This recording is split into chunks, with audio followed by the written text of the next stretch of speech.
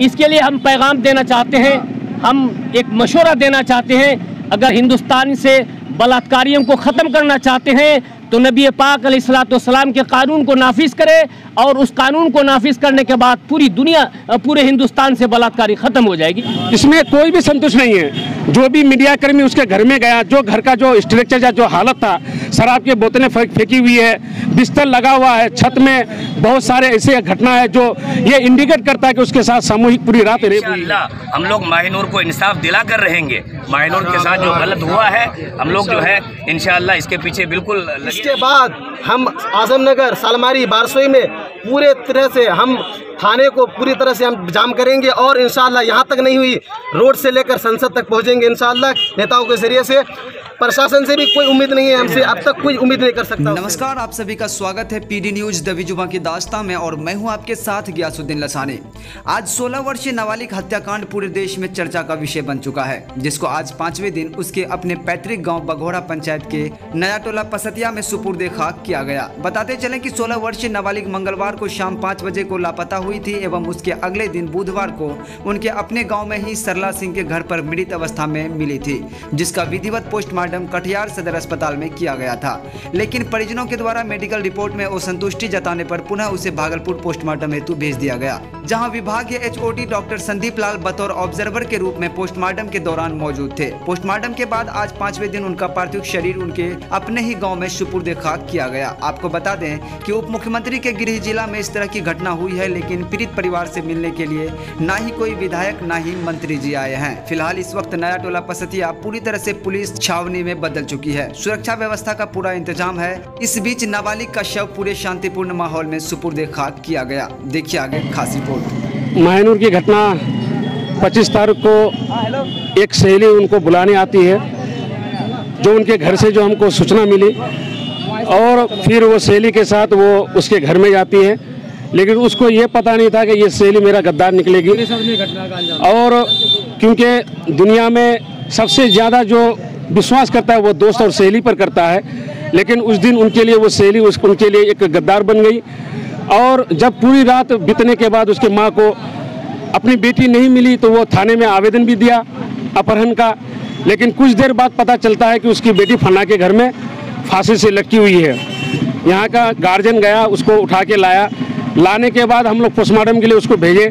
लेकिन जो उनका शरीर का जो मतलब स्ट्रक्चर था जो हर जगह चोट थी जो हड्डी टूटी हुई थी और जो एक बल, जो सामूहिक बलात्कार होता है जिस तरह से औरतें भी गवाह दे रही है कि उनके साथ बलात्कार हुई है पूरी रात और इसको फांसी में लटका दिया गया है। लेकिन पोस्टमार्टम के बाद जो रिपोर्ट आया ये पूरे देश को हिला देने वाला रिपोर्ट था। जिसको हम लोगों ने कबूल नहीं किया, फिर दोबारा कोर्ट गए, कोर्ट का दरवाज़ा खटखटाए, फिर कोर्ट से री पोस्टमार्टम का आपको ऑर्डर दिया, फिर हम लोग भागलपुर गए, वहाँ से पोस्टमार्टम दोबारा करके आए हैं। लेकिन आज उनका तदफीन का जो पोस्टमार्टम रिपोर्ट था उसमें से संतुष्ट आप लोग नहीं है? इसमें कोई भी संतुष्ट नहीं है। जो भी मीडिया कर्मी उसके घर में गया जो घर का जो स्ट्रक्चर या जो हालत था शराब की बोतलें फेंकी हुई है बिस्तर लगा हुआ है छत में बहुत सारे ऐसे घटना है जो ये इंडिकेट करता है कि उसके साथ सामूहिक पूरी रात रेप हुई है। आज उनका तदफीन का था मिट्टी देने का वक्त था लेकिन सभी लोग आँखों नम आँखों के साथ उसको विदाई दिया गया। लेकिन मेरा सवाल है आपके मीडिया के माध्यम से कि इस इस तरह का घटना इस क्षेत्र में पहली बार हुई है। आखिर इनके पीछे कौन सी संगठन है जो इस तरह का घटना करने में उसको मजबूर करता है? एक ही गाँव की बेटी, चाहे वो हिंदू की हो या मुसलमान की हो हिंदुस्तान की बेटी है। हम उम्मीद करते हैं कि आपके माध्यम से कि ऐसे लड़कों को जो नौ अभियुक्त बनाया गया, उसको बहुत जल्दी उसको फांसी की सजा हो ताकि हर कौम के लोगों को एक सुरक्षित मिले कि हमारी माँ बहनें हैं जो बिल्कुल घूमती है उनको किसी कोई भी तरह का अंदेशा ना रहे। तो प्रशासन की तरफ़ से भी काम किया जा रहा है लेकिन प्रशासन की तरफ़ से जो काम किया जा रहा है वो धीमा काम किया जा रहा है। उनको ये होना चाहिए क्योंकि जो मुख्य सचिव है वहाँ तक ये हम लोग मेमोरेंडम भी कांग्रेस पार्टी के द्वारा वहाँ दिया गया है। और जितने भी लोग हैं चाहे किसी भी कौम के लोग हो हर तरह के लोग इस मुद्दे को मतलब फांसी के फंदा तक उन लड़कों को ले आने में सब सहमत दे रहे हैं। लेकिन अफसोस की बात है कि सरकार के तरफ़ से अब तक ना कोई विधायक यहाँ आया है, जो यहाँ पर बीजेपी की विधायिका है। फिर हमारे संसद बिल्कुल बारसो प्रखंड के हैं। अब तक यहाँ पर आए नहीं हैं, ना ही परिवार वाले को कोई अभी तक कोई भी उसको आश्वासन दिया है कि आप चिंता मत करें, उन लड़कों को बख्शा नहीं जाएगा। इससे साफ़ ज़ाहिर होता है कि कोई ना कोई संगठन उनके पीछे है जो उन लड़कों को बचाना चाहता है। लेकिन हम लोग भी ठान चुके हैं, अगर हमारा संविधान के दायरे में अगर उनको सजा नहीं मिलती है तो हम लोग इस फैसले को ईश्वर पर और खुदा पर छोड़ेंगे और हमें पूरा पूरा यकीन है कि वहाँ पर उनको फैसला ज़रूर मिलेगी। यही हम कहना चाहेंगे। मोहम्मद आफ्ताब ताज, मदनी यतीम खाना के डायरेक्टर, जिला परिषद प्रतिनिधि बारसोई, पच्चीस के प्रतिनिधि प्रतिनिधि और हम लोग यहाँ अभी क्या कहते हैं, जो बघोरा पंचायत और पस्तिया गाँव में जो घटना घटित हुआ है, इसका मतलब चार दिन हो चुका है। आज ये चौथा दिन है और हम लोग फ़र्स्ट बार पोस्टमार्टम हुआ। उसमें जो रिपोर्ट आया उस रिपोर्ट में देखिए कि बताया जा रहा है कि वो मतलब अपने से खुदकुशी की है। जी आत्महत्या की है। अच्छा सर आपसे एक सवाल पूछना चाहेंगे क्या अगर हम अपना आत्महत्या करेंगे तो मेरा घर नहीं है सर? आपके घर में मरेंगे? क्या सर आप मरने दीजिएगा? आप ये पूछिए बोलिए सर। आप मरने दीजिएगा? नहीं। मरने दीजिएगा। क्योंकि आप फंसेगा ना सर। आपके घर में मरने जाएँगे। आप बोलिएगा आइए भैया स्वागत है। मेरा घर में आपका मरने के लिए। आपको नहीं किसी भी एंगल से नहीं लग रहा था कि वो आत्महत्या। तो हमें अफसोस है कि हमारे माननीय जो एसपी साहब है कटिहार डिस्ट्रिक्ट के, उनका खुद फैसला है। क्या सर वो डॉक्टर हैं? या फिर वो एक एसपी साहब है कि रिपोर्ट उनको पता? जब हम लोग कॉलेज मोड़ सालमारी में आए प्रोटेस्ट किए, उसके बाद ये एसपी साहब ने ये ये जवाब दिया है कि आप लोग ये गलत है। वो खुद से मतलब आत्महत्या की है। उसके पीछे किसी का कोई साजिश नहीं है कुछ नहीं है। तो हमें अफसोस हो रहा है कि लड़की देखिए कितना मतलब मरने ये हमारी एसपी साहब है कटिहार डिस्ट्रिक्ट के एसपी साहब है। उसका ये ये है। बताइए सर कितना अफसोस की बात है कि हमारे एसपी साहब भी उन्हीं के जो मतलब कातिल है जो दरिंदे हैं उसी की सपोर्ट करते हैं। सुना भी ये भी जा रहा है कि ग्रामीण के सहयोग से उसे जो है यहाँ से फिर भी मतलब कि करने के लिए जी सर जब हम लोग उम्मीद की, आशा की है कि हमारे जो कटिहार डिस्ट्रिक्ट के डॉक्टर हैं और एसपी साहब हैं उन लोगों का जो मतलब ये हो, कहना होगा अच्छा होगा, लेकिन वो पहला जो रिपोर्ट आया, उससे हम संतुष्ट नहीं हो पाए। इसलिए कि सर, आप बताइए कि अगर हमको आत्महत्या करना होगा तो हम दूसरे के घर में जाएँगे, वहाँ फांसी लटकेंगे। आप भी नहीं रोकिएगा, हम भी वहाँ मरेंगे। और आप हमको जो वहाँ पे सजा बजा के आइए भैया, आपका स्वागत है। आप मरिए मेरे घर में। क्या सर, कोई भी मरने देगा किसी के घर में? आपके घर में मरने जाएँगे, क्या मरने दीजिएगा? आप नहीं फंसिएगा भैया मेरा घर है यार। आप मरिएगा, हमको फांसी।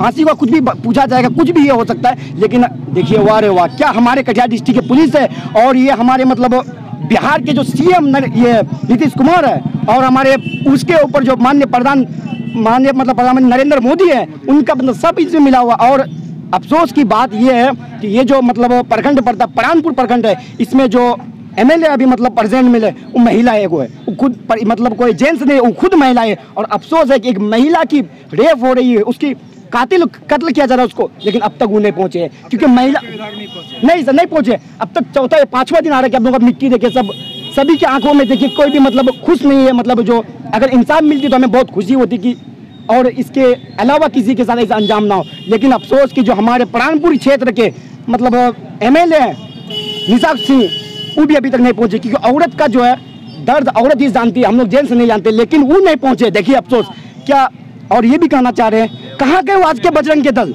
बजरंग दल जो मतलब कहते हैं कि हम पूरे हिंदुस्तान का रक्षा करेंगे हिंदुस्तान की बहन बेटियों का रक्षा जो गरीब होगा उनका मदद करेंगे। कहाँ गए वो? कहाँ है वो बजरंग के दल? तो अभी आप फ़िलहाल प्रशासन से सरकार से क्या मांग करते हैं? हम प्रशासन से यही मांग करते हैं कि उसके दो दिन में मतलब बारह घंटा के अंदर उन जो कातिल है उनके जो रेपिस्ट है उनके बलात्कारी है उनको फांसी में चढ़ना होगा। अगर नहीं हुआ अगर ये फांसी नहीं हुआ तो फिर हम लोग फिर अपना अंजाम को अपने लेंगे पहले सबसे उम्मीद करते हैं कि जो हमारे हिंदुस्तान है और ये हमारे बिहार है सबसे ज़्यादा मतलब इसमें क्या कहता है सुरक्षा का माना जाता है और सबसे ज़्यादा अमन और शांति माना जाता है हिंदू मुस्लिम सिख ईसाई सब यहाँ पे भाई भाई किसी का कोई भी दुश्मन है किसी का अगर कोई हिंदू का हाथ कटेगा तो मुस्लिम का भी हाथ कटेगा। दर्द उनको भी होगा।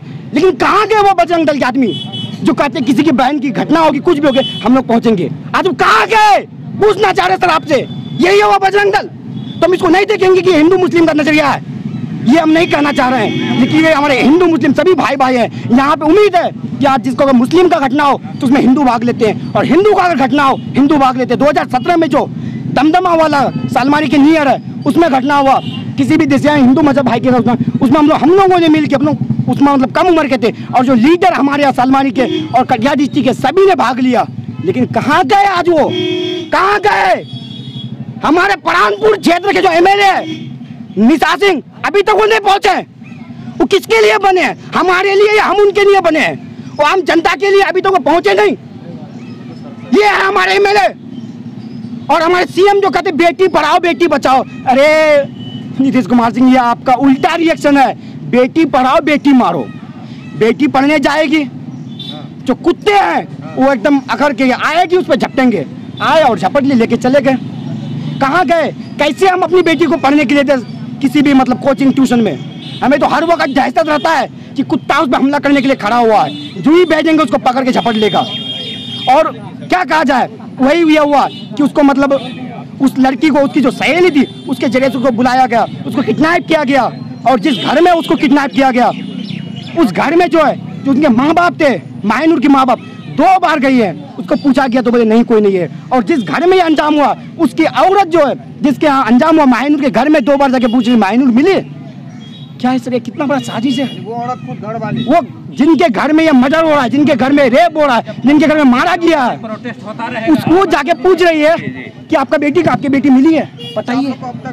क्या मिला ऊपर से प्रशासन के द्वारा कुछ मदद? कुछ नहीं मिला। अभी तक तो कुछ नज़र नहीं आ रहा है। सर बताइए जब रिपोर्ट लिखा जा रहा है जो रिपोर्ट में बताया जा रहा है कि उसको मर्डर हुआ है। उसका बलात्कार हुआ। तो बलात्कार को खारिज कर रहे हैं। अब अगर मेरा अगर हमको मार लगेगा तो हम कहेंगे ना मार लगा है। आप कहिएगा, आप हमको मार लगा है। पहले मैं लिखिएगा, सुनिएगा ना। फिर आप जाँच कीजिएगा ना।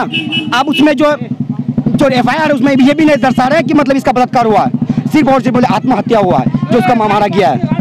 तो ये कहाँ का क्या है? ये हमारी जो मतलब ये यहाँ के जो पुलिस लोग हैं, अपनी मनमानी गुंडागिर्दी, अपने आप में मतलब अगर किसी के अब तक जो है, ये इतना बड़ा अंजाम हो गया, इसका बलात्कार हुआ, इसका मर्डर हुआ, अब तक नहीं पहुँची कोई गाँव में भाई भाई में झगड़ा है उसको पकड़े उठाओ। अब तुम उठाओगे?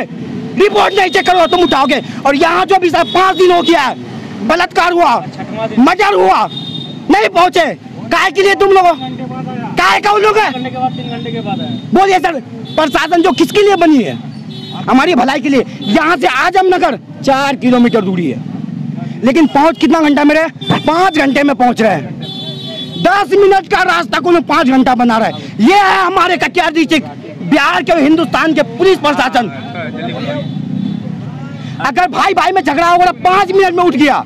लेकिन ये जो बलात्कार हुआ है ये आत्मा ये मतलब जो मर्डर हुआ है उसमें पाँच घंटा में पहुँचे पाँच मिनट का रास्ता में। क्या ये पुलिस प्रशासन को जवाब नहीं देना पड़ेगी? क्या चाहते हैं? हम लोग यही चाहते हैं कि जो उनके कातिल है उनके बलात्कारियों को फांसी चाहिए। मायनूर के कातिलों को मायनूर के कातिलों को फांसी दो। मायनूर के कातिलों को फांसी दो। मायनूर के बलात्कारियों को फांसी दो।